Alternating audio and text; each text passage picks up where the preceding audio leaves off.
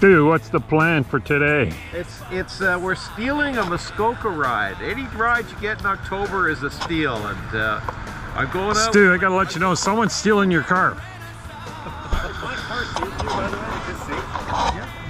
The, the, the Ontario Northland stops here, so I think it's okay. Mike, your truck, it's it's like number one on the stolen list. I know it is. You know, what's the uh, what's the plan?